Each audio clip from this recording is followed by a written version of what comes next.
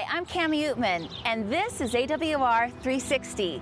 We are in Israel.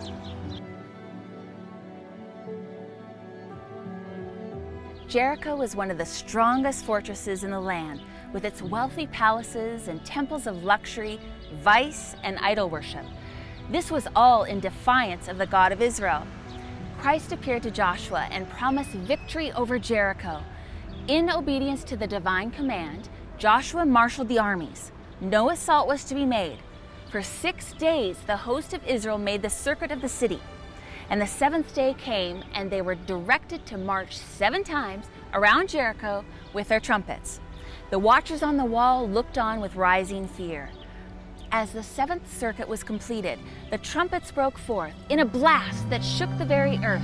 The walls of solid stone with their massive towers tottered and heaved from their foundations, and with a crash fell in ruin to the ground.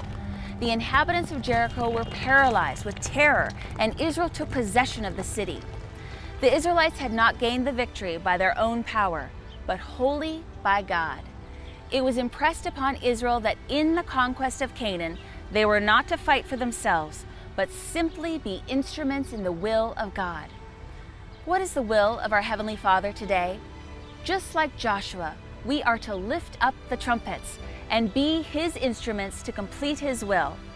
Jesus made his commission to us very clear to go preach, teach, and baptize every nation, kindred, tongue, and people.